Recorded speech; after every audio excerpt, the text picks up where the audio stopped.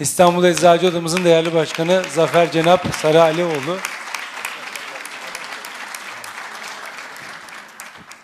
Tam 7 dakika 28 saniye bıraktı. Eyvallah. Ee, Cenap abiye. Buyurun Cenap. Sayın Başkan, Merkez Heyetimizin değerli üyeleri, Denetleme Kurulu Başkan ve üyeleri, Haysiyet Divanı Başkan ve üyeleri, tüm ecza kooperatifleri başkanımız, birim ecza kooperatifleri başkan ve yöneticileri, sayın oda başkanları, sevgili delegeler, değerli meslektaşlarım. Hepinizi İstanbul Eczacı Odası adına saygıyla selamlıyorum. Bu bölgeler arası toplantımızda yine biraz buruk bir toplantı yapıyoruz. Bundan yaklaşık 3 ay önce bir dalımız daha kırıldı arkadaşlar. Diyarbakır Oda Başkanımız Ferhat Değer arkadaşımız maalesef bugün aramızda yok. Mesleğimiz ve meslektaşlarımız için mücadele eden Ferhat Başkanımıza, Ferhat kardeşimize Allah'tan rahmet diliyor. Kendisini bir kez daha özlemle anıyorum. Onur Başkanım nezdinde Samsun Eczacı Odası yönetimine, Samsun Eczacı Odası üyesi meslektaşlarıma bizlere gösterdikleri ev sahipliğinden dolayı teşekkür ediyorum. Erzurum Eczacı Odası Yönetim Kurulumuza internet satışları ile yaptıkları ve sonuç aldıkları etkin mücadeleden ve güzel sonuçlarından dolayı teşekkür ediyor, kendilerini kutluyorum. Sevgili Bilal Başkanımızdan sonra bir kez daha dikili ağacımız olmasına sebep olan Oğuzhan Başkan nezdinde Kayseri Eczacı Odası'na teşekkür ediyorum. İstanbul Eczacı Odası kadrolarımıza teşekkür ediyorum. Mesleğimizdeki en önemli gördüğümüz dört ana başlıktaki sorunlarımızla ilgili hazırladıkları kitapçık dışarıda masaların üstünde çok hızlı bir şekilde hazırladılar. Sizlerle paylaşmak için buraya getirdiler. Onlara da emeklerinden dolayı teşekkür ediyorum. Arzu eden meslektaşlarımızın e, faydalanabilmesi açısından kitaplarımızı dışarıdan alabileceklerini söylemek istiyorum.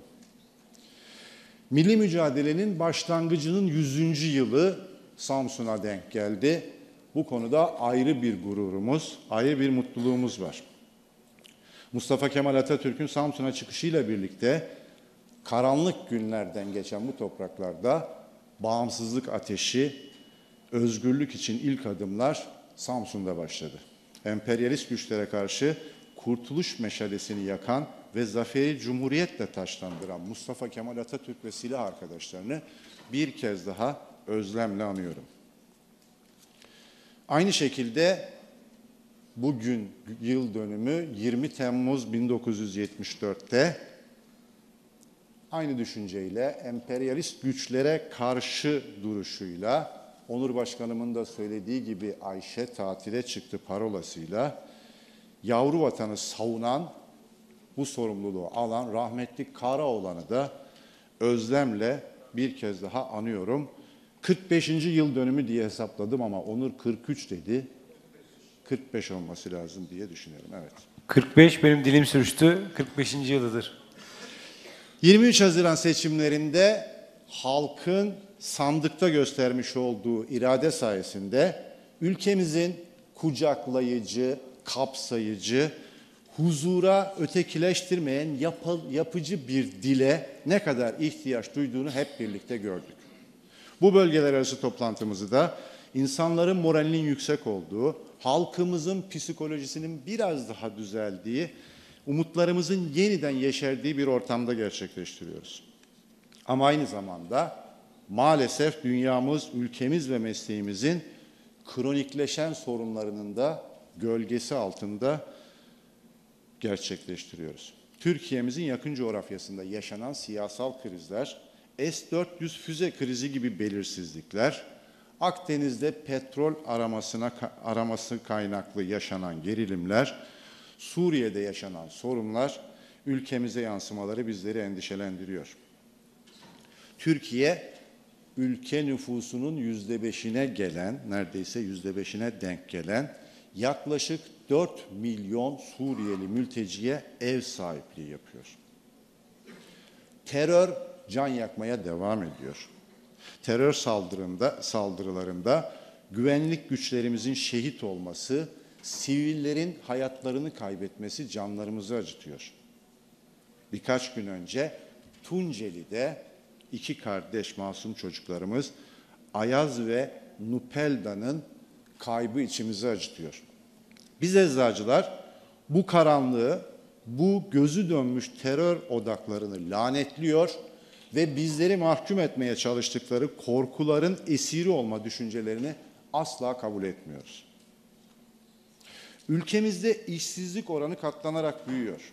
TÜİK verilerine göre Türkiye genelinde işsiz sayısı bir yıl önceyle kıyaslandığında 1 milyon 116 bin kişi artarak 4 milyon 200 bin kişiye ulaşmış. Ekonomideki daralma nedeniyle sadece bu yılın ilk 6 ayında 55 bin esnaf kepen kapatmış. Türkiye'de yaklaşık 30 milyon kişinin 555 milyar lira kredi borcu var.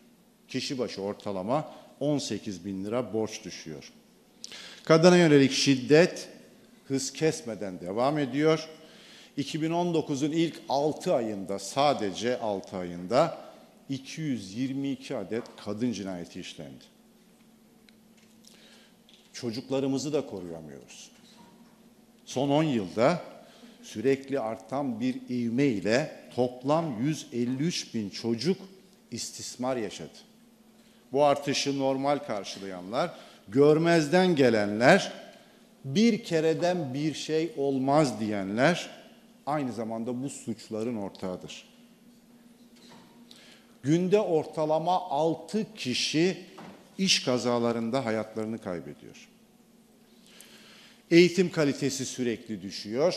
Son 10 yılda enflasyondan daha hızlı bir şekilde artan eczacılık fakültesi sayıları sonucunda şununla karşılaşıyoruz. Yeni mezun meslektaşlarımız sanal ortamda soruyor. Öborik su ile mi hazırlanacak, alkol ile mi hazırlanacak? Gezi davasında ağacına sahip çıkanlara gözdağı verilirken ODTÜ'de birileri binlerce kavak ağacını katledebiliyor. Adalete güvenin kaybolduğu, mahkemeler tarafından verilen kararlar, bazen de verilmeyen kararlardan dolayı vicdanların yaralandığı günler yaşıyoruz. İfade ve basın özgürlüğünün hiçe sayıldığı, SETA Vakfı'nın gazetecileri rapor adı altında fişlediği günler yaşıyoruz. Atatürk ve Cumhuriyet değerlerine saldırıların arttığı, belediye tabelalarına Türkiye Cumhuriyeti'nin kısaltması olan TC'nin ilave edilmesi talebinin bölücülük ve fitne atma işi olarak tanımlandığı günleri yaşıyoruz. Bu ülkenin okumuş, aydın, sağlık meslek grubu mensupları olan biz eczacılar bu yaşananlara seyirci kalamayız. Kulaklarımızı kapatmamalı, susmamalıyız. Bizler üç maymunu oynayamayız. Bu ağır ülke koşulları altında bir yandan mesleğimizin sorunlarını çözmeye çalışırken diğer yandan demokrasiye, cumhuriyete, laikliğe, hukukun üstünlüğüne, insan haklarına sahip çıkmaktan vazgeçemeyiz, vazgeçmeyeceğiz. Hem ülkemizin mesleği için, hem ülkemizin geleceği için, hem mesleğimizin geleceği için mücadele etmeye devam edeceğiz. İki gündür konuşmacılar mesleki sorunlarımızı konuşuyoruz. Aslında iki gündür konuşmuyoruz. Epey uzun bir süredir konuşuyoruz. İki gündür tekrara giriyoruz. Yıllardır konuştuğumuz konuları konuşuyoruz. Aynı konuları defalarca konuşuyoruz ve şunu görüyoruz. Sorunlarımız çözümleri aşamasında bir arpa boyu yol alamadığımızı görüyoruz. Dağ gibi sorunlarımız var ve bu dağ gibi sorunlarımızın rakımı her geçen gün yükseliyor. Son 10 yıldır eczacılar sürekli kan kaybediyor. Ve eczacılar kan kaybederken önce odalarının sonra birliğinin onlara sahip çıkmasını bekliyorlar. Odalarına başvuran eczacılara cevap verememenin utancını yaşıyoruz. Türk Eczacılar Birliği Merkez Heyeti yıllardır var olan yönetim anlayışını yıllardır eleştirmemize rağmen değiştirmiyor. Değiştiremiyor ya da değiştirmiyor. Dört yıldır buralardayız. Dört yıldır merkez heyetimize sınırsız destek veriyoruz. Türk Eczacılar Birliği'nde kurulan komisyonların 8 tanesinde üyemiz var arkadaşlar. Protokol komisyonu, SGK protokol komisyonu gel dediler, geldik emek verdik. Reçetesiz ilaçlar komisyonu gel dediler, geldik emek verdik. Merkez heyetinde üyemiz var. Serdar'ımız orada. Serdar'ın hayatının yüzde ellisi Ankara'da geçiyor. Çocuklarını özlediğinde İbrahim'le Sinan'la hasret gideriyor arkadaşlar.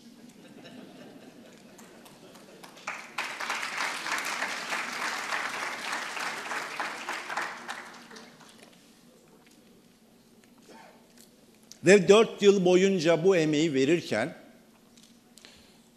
hiç gocunmadık, hiç yorulmadık. Mesleğimiz adına, meslektaşlarımız adına her türlü emeği verdik, veriyoruz, vermeye devam edeceğiz. Ama bizi ne yordu biliyor musunuz?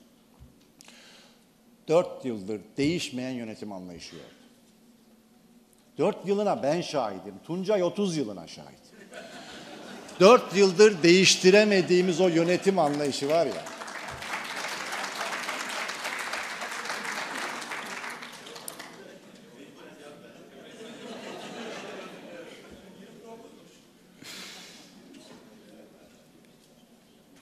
Tüm eleştirilerimize rağmen, tüm eleştirilerimize rağmen gücü paylaşamamak, sorumluluğu dağıtamamak, doğru iletişimi kuramamak, şeffaflığı becerememek konularında maalesef hiçbir iyileştirme görmüyoruz arkadaşlar. Görmedik. İşte bu bizi yoruyor.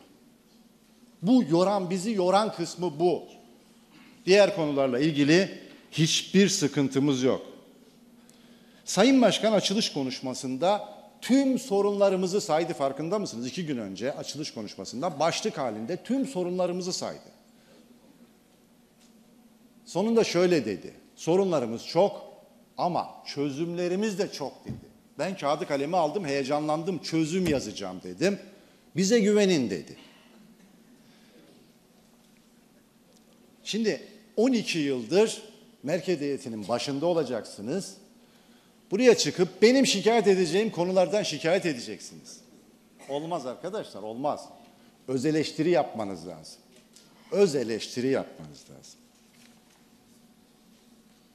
Kimse Amerika'yı yeniden keşfetmeyecek. Burada hepimiz aynı konularda aynı çözüm önerilerini sunuyoruz. Yani bilmediğimiz bir çözüm yöntemi yok. Çözümler belli. Çözümler çok net. Çözümlerle ilgili neler yapılabilir, neler yapmıyoruz buna biraz bakmak lazım.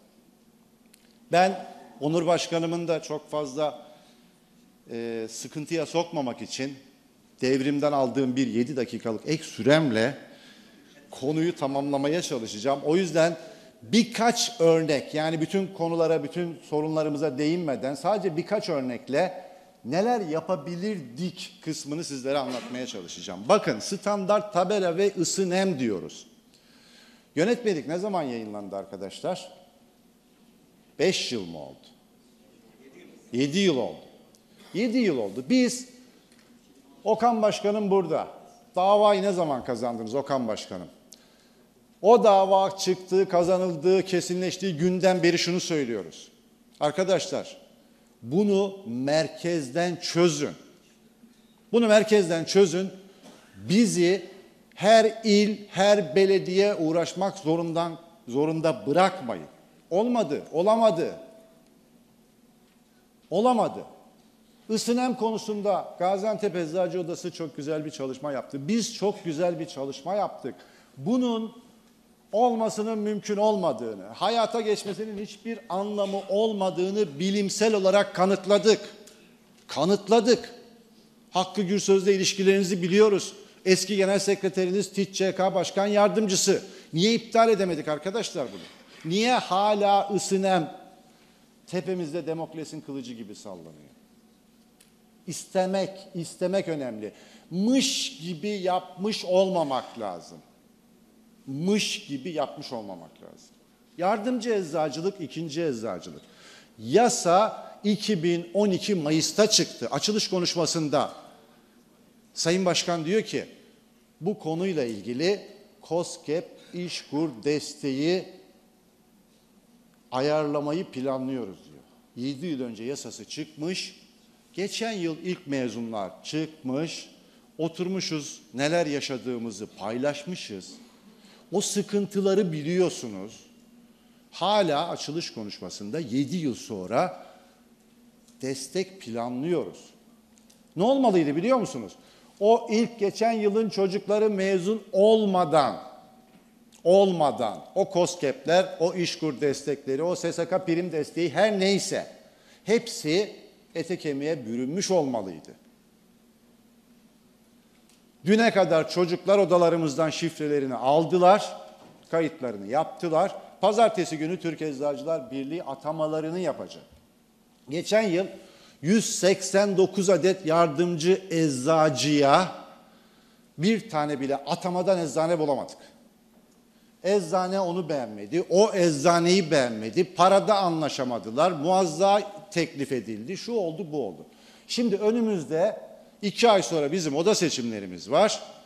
Yarın atanıp eczanelerine yerleşemeyen çocuklarla ilgili biz iki ay yardımcı eczacılık yapabilecekleri eczane arayacağız. Sait abiye söyleyeceğiz. Diyeceğiz ki ne olur bize İskop aidiyetli eczane bul. Bunlara bu çocukları yerleştirelim. Geçen sene öyle çözdük. Şimdi olmuyor. Bunu görün. Olmuyor. Siz atama yaptığınızda sorun bitmiyor. Bunu görmek lazım. Bunu görüp buna göre çözüm üretmek lazım. Bir yıl önceden bugüne kadar bir değişiklik var mı? Hiçbir değişiklik yok. Şimdi biz yıllardır şunu söylüyoruz. Yardımcı eczacılığı da ikinci eczacılığı da özendirici hale getiremezseniz, teşvik edici hale getiremezseniz sağlıklı yürümez. Yürümüyor. Bunu görmek lazım. Eczacılık fakültesi sayıları enflasyondan daha hızlı. Özgün burada dün bir öneride bulundu. Dedi ki YÖK'ün önünde basın açıklaması yapalım. Görüyorum arttırıyorum. Bir gün sonra da o YÖK'ün önündeki basın açıklamasından bir gün sonra da en yüksek 3 tirajlı gazeteye tam sayfa Sayın Cumhurbaşkanı diye başlayan gazete ilanı verelim arkadaşlar. Bakın o zaman tepkiye. Bakın o zaman neler olduğuna. Türk Eczacılar Birliği'nin sayfasına yazı koymak yetmiyor arkadaşlar. Mış gibi oluyor. Mış gibi yapmamamız lazım. Birinci basamak sağlık hizmeti sunucusu olmamız Sağlık Bakanlığı tarafından da tescillendi. Çok kıymetlidir. Korkunç kıymetli bir kavramdır. Bu anlamda ben önce bu işin 5 yıl önce SUT'ta yayınlanmasına sebep olan Levent hocama teşekkür ediyorum. Onunla başlayan bu yol ben inanıyorum ki bizi meslek hakkına götürecek yoldur. Ama ama lütfen Sayın Merkez Heyetimizden rica ediyorum. Bu konuda birinci basamak sağlık hizmeti sunucusu tanımının altını başkalarının doldurmasına fırsat vermeyelim. Vakit kaybetmeden Türk Eczacılar Birliği ve Eczacı Odaları olarak bunun altını biz dolduralım. Ortak tavrımızı, ortak söylemimizi belirleyelim. Bu konuda lütfen hızlı adım atalım. Başkalarına fırsat tanımayalım. İlaç fiyat kararnamesini kaç yıldır konuşuyoruz bilmiyorum. Tuncay'dan da eski olabilir. Şunu söylüyoruz hep. Tuncay sayemde ilave 3 dakika kazandım. Şunu söylüyoruz hep. Hepimiz aynı şeyi söylüyoruz. Bu şartlarda bu iş yürümüyor. Bunu yıllardır konuşuyoruz. Ne yaptığımıza dönüp baktığımızda bundan bir ya da iki ay önce kuruma yazılı talepte bulunduğumuzu öğreniyoruz. Ya olmaz arkadaşlar. Olmaz. Bakın burada dün Özgün anlattı. Belediyeden nasıl arsa aldıklarını anlattı. Yenişehir Belediyesi'ne 9 kere, Büyükşehir Belediyesi'ne 12 kere gittiğini anlattı.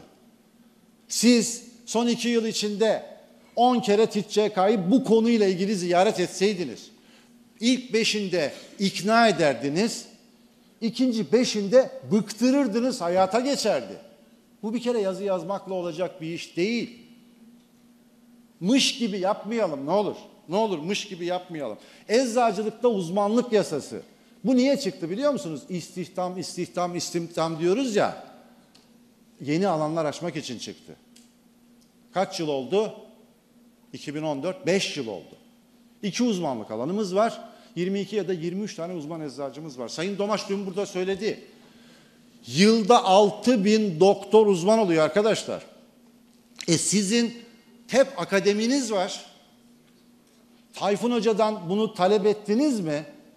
O yasa çıktığında edilseydi Tayfun Hoca bugün 10 ayrı dalda yüzlerce uzman eczacının yetişebileceği çalışmayı yapmaz mıydı? Bence yapardı. Ya bir plastik poşetleri anlatamadık arkadaşlar. Bir plastik poşetleri anlatamadık. Lütfen samimiyetle soruyorum. Plastik poşetlerin ücretlendirilmesiyle ilgili tam bilgiye sahibim diyen kaç meslektaşımız var aramızda? Bunu bile anlatamadık. Bunu bile anlatamadık. Bakın kamu kurum iskontosu uygulanmayan ilaçlar eczacıların zararına sebep oluyor. Yıllardır konuşuyoruz. Yıllardır. 2019 yılı SGK protokol görüşmeleri Mart ya da Nisan ayı hatırlamıyorum şimdi.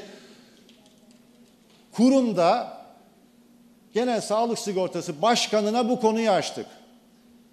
Böyle bir konu var dedik. Bu bizim zararımıza sebep oluyor. Bu konuda lütfen uygulamanızı bir göz, gözden geçirin dedik. Kurum başkanı bize ne dedi biliyor musunuz? Benim bilgim yok dedi. Bu konuda benim bilgim yok dedi. Ha doğru mu söylüyor, söylemiyor mu bunu bilemeyiz. Bunu bilemeyiz ama şunu gördük. Bu konuda kurumda iz bırakmayı bile başaramamışız. KKİ ile ilgili kurumda iz bırakmayı başaramamışız. Çok güzel bir projeden bahsedildi dün. Sanıyorum saymanımız anlattı. Cezaevleriyle ilgili e, yeni bir sistem kuruluyor, sistem hazırlanıyor. Çok ciddi, çok kıymetlidir. Çok ciddi emek içerir. Emeklere teşekkür ediyorum. Ama cezaevi ödemelerinin gecikmeleriyle ilgili bilginiz var mı arkadaşlar? Nerede kaldığını biliyor musunuz? Geçen yılın 9. 10. 11. aylarından neredeyse yılını deviren gecikmelerden haberiniz var mı? Bu konuda bu konuda niye bir çözüm üretilemedi bu, bugüne kadar? Bakın magistral reçeteler hatırlayın. Magistral tarifelerin fiyat güncellenmesini konuştuk. Konuştuk değil mi? Yıllarca konuştuk. Beş yıldır yapılmıyor dedik. Başkanım bir uyarı yapacağım. Özür diliyorum kestiğim için. Ee, şimdi otelden aradılar. Bir deneme sireni çalınacakmış. Belki salona gelmez ama olursa panik yapmasın konuklarımız. Bir duyurur musunuz dediler. Şimdi birden çalar. Ben de iki dakikadır e, kesmeyeyim diye bekliyorum. Toplantıyla bir alakası yoktur. Çok özür diliyorum. Çok Benim konuşmamdan panik yapmıyorlarsa sirenden kimse panik yapmaz. Rahat olunuz.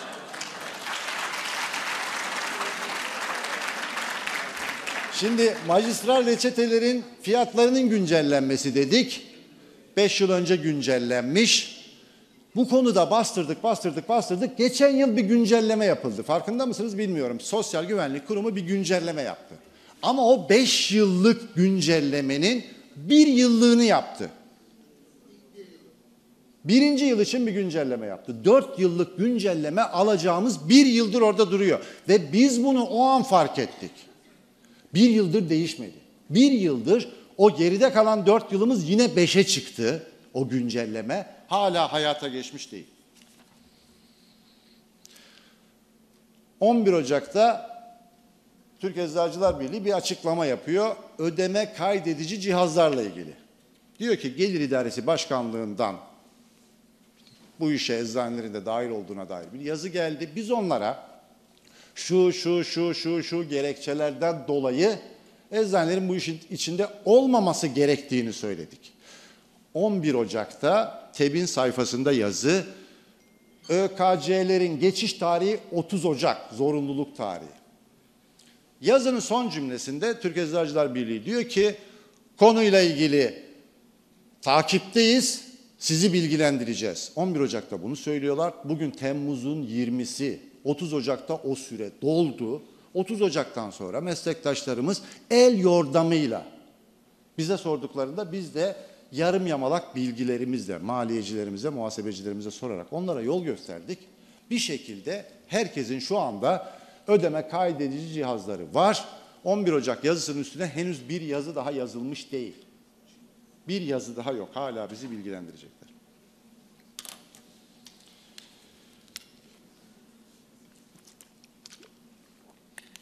Bakın bunlar neyi gösteriyor biliyor musunuz?